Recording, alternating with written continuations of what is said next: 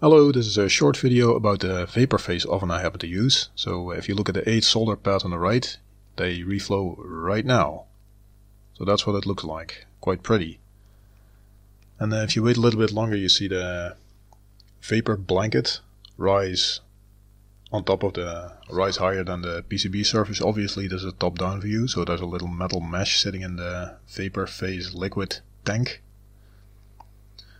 Um, vapor phase liquid in this case boils at uh, 230 degrees. So basically everything now is at 230 degrees and including the PCB and the component. So that's uh, it doesn't overheat.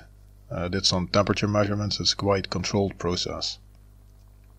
So right about now the heater goes off the cooler goes on the fan yeah, cooling the vapor phase liquid tank.